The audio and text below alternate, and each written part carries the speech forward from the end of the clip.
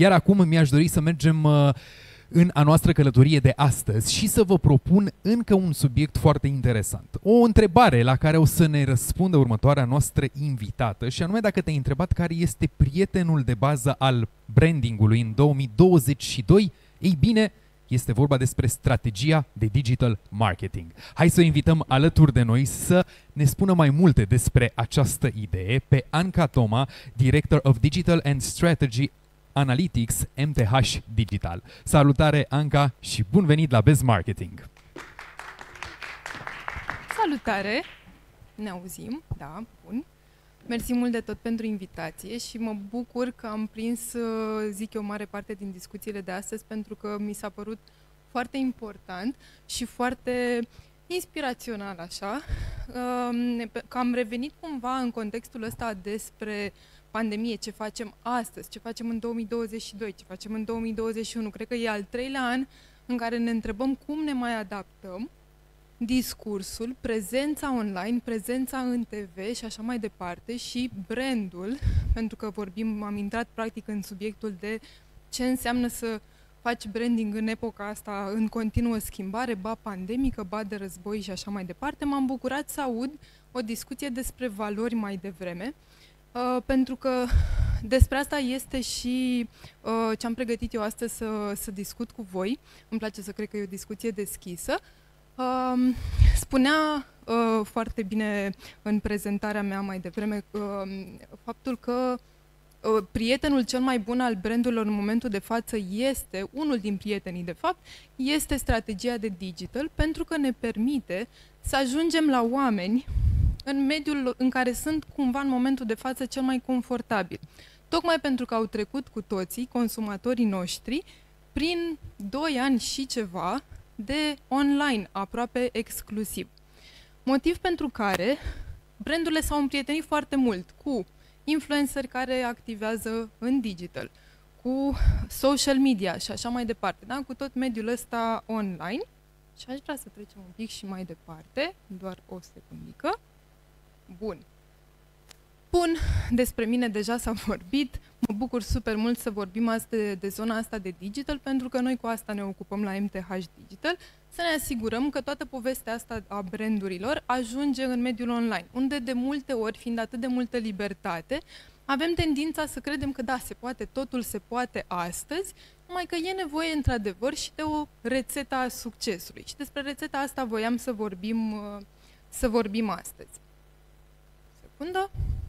Îmi dau seama și cum... A, așa despre această frumoasă rețetă, de la care pornim întotdeauna și am observat că funcționează, inclusiv în cadrul cursurilor pe care le ținem, când vorbim cu oameni care n-au deloc experiență în zona asta de strategie de marketing online, Gândirea în modul acesta funcționează pentru toată lumea. Și anume, când începem să ne gândim strategia de marketing online, având, desigur, la bază un branding puternic. Deja suntem cineva în, uh, în mintea consumatorului, cum facem să comunicăm și online acea imagine, acele mesaje cheie pe care le-am construit prin mii de creative până în momentul respectiv. Și pornim în primul rând de la analiza pieței și a publicului țintă, analiză care, da, în anii aceștia, al treilea, iată, s-a tot schimbat. De ce? Pentru că publicul nostru țintă consuma în mod foarte diferit, așa cum ne-a povestit și Bianca de la Cubis astăzi, foarte diferit conținutul preferat până în momentul respectiv. Piața în sine s-a schimbat constant și foarte dinamic. Dar ingredientul ăsta n-a dispărut din rețetă. Apoi trecem prin analiza concurenței.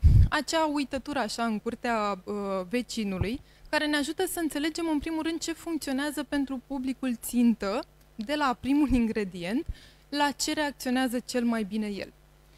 Trecem apoi și prin analiza SWOT, bătrâna și de încredere analiză SWOT, care ne ajută să ne stabilim diferențiatorii reali despre care o să mai vorbim astăzi un pic mai încolo.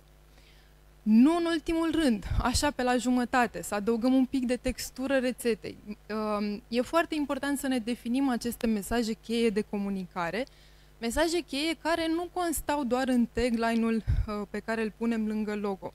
Constau și inclusiv în modul în care stabilim împreună cu, iată, creatorii de conținut, um, stabilim cum va fi uh, cum va fi transformat practic acel mesaj uh, cheie al brandului nostru într-un piece of content original care să fie grăitor și pentru creatorul de conținut. Pentru că, așa cum foarte bine spunea Alina mai devreme, e foarte important să existe autenticitate.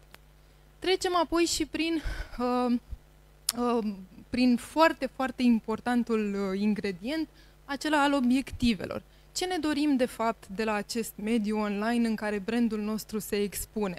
Cum măsurăm efectiv faptul că funcționează colaborarea cu influencerii, colaborarea cu, uh, uh, uh, eu știu, o agenție de, de marketing online. Ce anume așteptăm din fiecare tip de campanie, din fiecare mesaj, din fiecare postare. Bineînțeles că nu putem să trecem peste mixul de marketing, adică stabilirea acestor canale care ni se potrivesc și, evident, prea slăbitul buget de marketing online, peste care, din nou, nu, că nu, e, nu e lăsat el la urmă degeaba, pentru că el taie și spânzură, ca să zicem așa. Bun. Vorbeam de ingredientele acestea pentru că ele așa în sine se leagă foarte frumos dacă au la bază date. Date care pot să însemne pur și simplu ce avem noi în Google Analytics sau în orice alt instrument de măsurare și de statistică, um, ca să ne dăm seama de anumiți parametri ai rețetei, noștri, ai rețetei noastre. Cum ar fi, de exemplu, vorbeam mai devreme de publicul țintă, cum reacționează el, ce face, ce caută, ce cere în momentul dat X al situației în care facem această analiză, pentru că, spuneam, adaptarea la context, mai ales în ultimii doi ani, a fost atât de importantă. Ne interesează foarte mult să avem acces la astfel de date uh, și să fie colectate corect ne apropiem și de o eră în care um, lucrul acesta va fi făcut tot mai greu, acea eră cookieless despre care toți suntem amenințați, ca să zicem așa, în zona de digital. Datele astea înseamnă mai mult însă decât să vedem cât vizitatori au venit pe site, ce au făcut, cât timp au stat, care e rata de conversie. Pentru un brand, atât unul established, care își dorește cumva să intre și în zona de digital, nu neapărat pentru că e trendy, ci pentru că aduce rezultate, dar și pentru un brand la început de drum, e foarte important să fim atenți și la ce spun alte surse de learning. Nu doar că vindem în momentul X. E important să ne asigurăm că publicul nostru ne înțelege suficient de bine și are un sentiment suficient de plăcut față de brandul nostru, încât să tot revină la noi. Pentru că diversitatea de branduri, de produse, de magazine online, de uh, retailer și așa mai departe, ne provoacă constant să ne definim mai clar mesajele și să ne definim mai clar comunitatea către care comunicăm. Bun. Practic, spuneam că e important să ne uităm și la ce spun oamenii despre noi în social media, la ce spun oamenii despre noi atunci când caută brandul nostru în online. Și mergem granular până la analiza cum reacționează oamenii când ajung pe site-ul nostru. În sfârșit, i-am adus, fie de pe Instagram, fie din campanii de Google Ads, fie din campanii de orice alt tip, din colaborări cu influencerii, din story-urile acelea cu foarte multe, uh, cu foarte mare reach. A ajuns la noi pe site și ce se întâmplă? Am uh, constatat uh, de multe ori în, în zona asta de digital că ne concentrăm atât de, tindem să ne concentrăm pe uh, ce sexy arată un anumit buton sau un anumit mesaj din site, utilizatorul pe mobil nu-l vede absolut deloc, se duce pe meniul burger, care de obicei este în stânga sus, cam așa ne-am obișnuit cu toții, nimeni nu vede mesajul tău de pe la mijlocul paginii de homepage, nimeni nimic. Bun. Deci e foarte important să vedem realist cum se comportă oamenii în raport cu brandul nostru și în raport cu ce conținut îi oferim. Și mai ales, mai ales în, conte- în contextul actual, să nu uităm de ce se întâmplă în afara propriei cămări. Adică contextul și competiția la nivel micro și la nivel macro. Când spun context, și vă dau aici un exemplu și chiar aș fi curioasă să întreb dacă am fi în, într-un alt context poate, uh, ce credeți că reprezintă aceste linii de interes, aceste volume de căutări, să spunem așa, raportate de uh, Google Trends în ultimele 12 luni? Ei bine, e vorba de interesul pentru uh, beauty, marcat cu albastru, pentru fashion, tot ce înseamnă zona de cumpărături online de fashion, ce s-a întâmplat în momentul în care acest subiect al războiului a devenit nu, nu, nu, nu doar că l-a acaparat, ci a depășit cu mult orice alt interes de achiziție, orice alt interes comercial și așa mai departe. Nu poți să comunici la fel, așa cum au uh, spus și uh, Alina și Ovidiu mai devreme, nu poți să comunici la fel ca înainte, într-adevăr, să fii complet rupt de realitatea în care se întâmplă asta în cifre. Și dacă ne uităm la și din perspectiva asta de competiție, e foarte important să ne raportăm constant și să ne actualizăm informația despre cum stăm noi în mintea consumatorului raportat la competiție over time. Adică, în ce poziție mă regăsesc eu ca, nu știu, producător de, ca brand de cafea în mintea consumatorului în ultimele 12 luni față de principalii mei competitori. Poate că mie îmi place să cred că riciul de pe Instagram e mult mai bun și mult mai mare decât al competiției. Realist, la, uh, la firul ierbii, atunci când analizăm efectiv de câte ori caută userii brandul meu sau al competitorilor, s-ar putea să am surprize. Actualizarea asta constantă a informațiilor de tipul acesta e cheia în acest sezon pandemic, războinic și așa mai departe. Hai să vedem și cu cine stăm de vorbă. Probabil cel mai important lucru în zona asta de digital marketing, pentru că se discuta și mai devreme despre cât de diferită e comunicarea la TV, de exemplu, față de cea din digital. În digital ne actualizăm mult mai des mesajele, uh, valorile pe care le comunicăm. Avem și libertatea de a face lucrul acesta.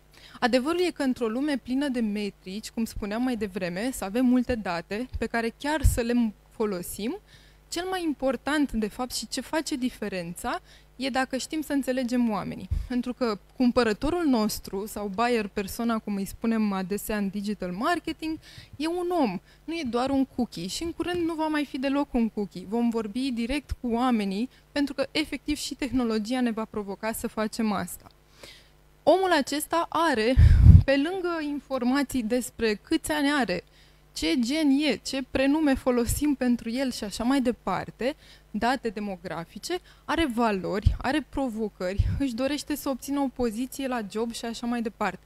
Sunt aspecte pe care, ne vine sau nu să credem, le putem reflecta în mesajele noastre de brand. Și atunci ne gândim, realist, ce vrea să audă utilizatorul de internet, care, uh, utilizatori care au devenit tot mai mulți în ultimii doi ani, despre produsul meu, despre nișa mea, industria mea, categoria mea de produs. Vrea să audă că e ieftin, că funcționează, că e frumos, că e simplu. Vedem astfel de diferențieri chiar și în reclamele de Google Ad Search, unde da, unii jucători ne spun că poți să comanzi acum și vin rapid. Unii ne spun frumos că îți relaxăm privirea. Unii ne spun că ai reducere la prima comandă. E foarte important să știți dacă mesajele acestea se corelează realist cu ce vrea utilizatorul să audă pe nișa respectivă. Oare nu cumva vrea să audă și despre frumos, simplu, nu doar despre reduceri? Uneori, utilizatorii, când caută efectiv brandul nostru online, caută număr de calorii, că tot vorbim de o rețetă, caută să vadă cum te-ai implicat într-un proiect special și atunci îți dai seama că el a fost auzit de utilizatori sau poate că vrea să lămurească vreo confuzie despre care tu nici măcar nu știi, o asociere a brandului cu vreo acțiune și așa mai departe. Adevărul e că o vreme a funcționat și o să mai funcționeze, mai ales pentru noi jucători care intră în, în fiecare industrie în online, cu mesaje despre cât de mult și cât de ieftin putem să livrăm. Adevărul e că la un moment dat, inevitabil, consumatorii vor cere și frumos, ușor, sigur, empatic, apropiat de ei. Ceea ce deja vedem cumva în afară și se simte că încercăm să dezvoltăm. Se va cere, practic, o poziționare mai clară în raport cu alți jucători din aceeași industrie, în raport cu propriile valori ale brandului. Bun, cum vorbim cu acest utilizator? Poziționarea de care vă spuneam mai devreme e practic așa un gol la început, e spațiul acela gol pe care îl vedem aici, în care noi trebuie să decidem în primă fază ce promitem. Dar să nu uităm să și fim capabili să livrăm. dacă brandul nostru promite că e uh, apropiat într-adevăr de problema pandemiei sau de problema refugiaților.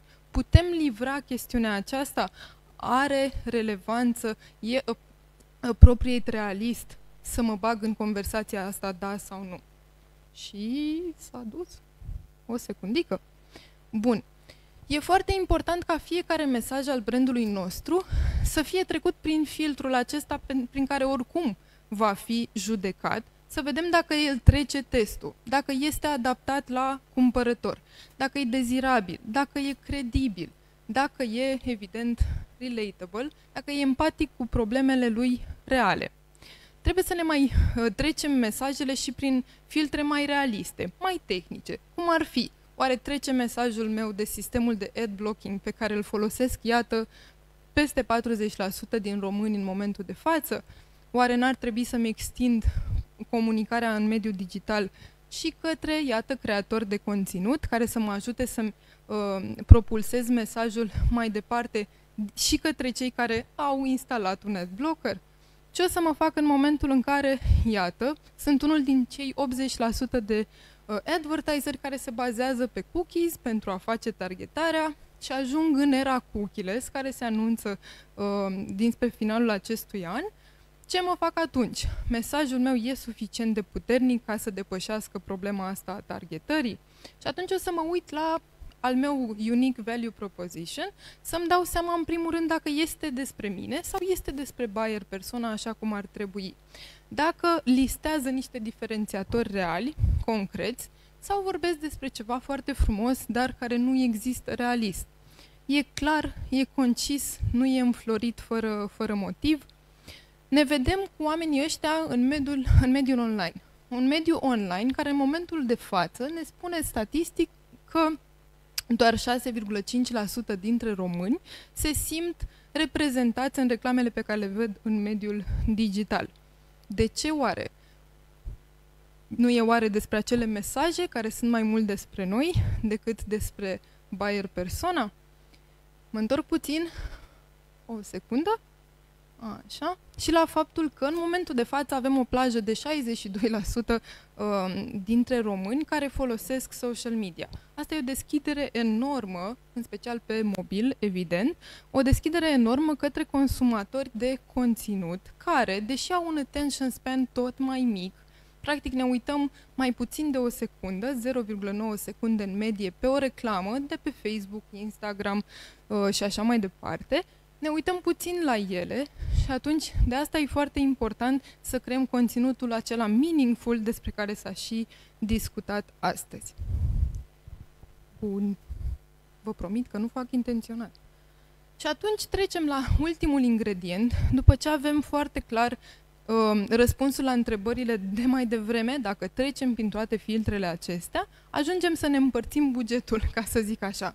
Și ne gândim constant dacă ar fi, există această întrebare. Oare e nevoie să facem și awareness? Da, e nevoie să facem și awareness, în special în perioada aceasta de schimbări constante, pentru că, deși e provocator, este și o mare oportunitate să intri cu o comunicare fresh, o comunicare realistă și credibilă în contextul în care lumea are nevoie de astfel de release-uri creative, ca să spunem așa. Și atunci recomandarea ar fi ca bugetul să fie constant împărțit între ceea ce presupune generarea de cerere, ceea ce presupune captarea cererii existente, cum e zona aceea de căutări pe Google de care vorbeam mai devreme, și ceea ce înseamnă campanii de brand awareness, adică să ne audă și oameni care nu au mai auzit de noi până atunci și abia apoi să ne gândim cum să îi convertim pe acești oameni noi care aud pentru prima dată de noi în mediul online. Răvălați cu rețeta, uh, rețeta pe baza căreia am vorbit astăzi și vă recomand să vă jucați în continuare cu ingredientele. Ele rămân, vă promit, aceleași, doar că se mai schimbă flavorul, ca să spun așa. Paftă! Mersi mult! Felicitări pentru prezentare și aplauze pentru Anca Toma.